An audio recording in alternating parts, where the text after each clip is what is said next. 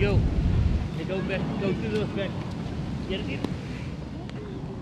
Unfortunately, last season we've got knocked out in the quarterfinals. Every school that participates in the league had to write a motivating letter to the project, uh, sort of just describing why they need or why they deserve the, the cricket pitch. I've played cricket from when I was in grade two, and we've never had a proper field to pitch to practice on. And I feel now that once we have the pitch here, and other children would like to play, they would definitely get the original feel so that they wouldn't be nervous when they come onto the pitch.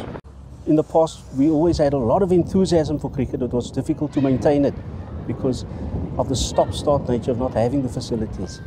Now I think we've, we, will be able to keep that momentum going and uh, just provide these boys with an opportunity of maybe reaching for the stars concrete is one of the, one of those products which is quite durable.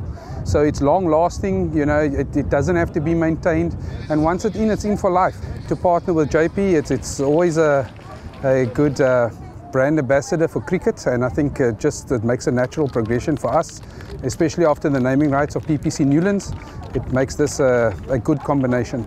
For many years, this has been a dream of ours at Parkhurst, you know, to have our own pitch. Uh, we tried at one stage even mowing a, a, pitch where we could play games in the afternoons, but we realized that it, it would be too dangerous. So the desire has always been there. As a school in a, in a community that is not always so advantaged, uh, we need the outside help, we need the support so that uh, we can help our children achieve their dreams. I'm sure that's going to be shared around um, in and amongst the schools, the neighbouring schools. So it's a start of a, of a great partnership for us with PPC and hopefully this is a start of of a few more pitches rolling out next year and in, in the years to come. We've identified a local contractor who's going to be doing the pitches for us. He's from the community and in that way ensuring that we get consistent concrete and workmanship. I'm actually well up because we can get we can practice much better and there's better opportunities for us to know what's going to happen in the future. I hope that this season we can make it to the finals and play on Newlands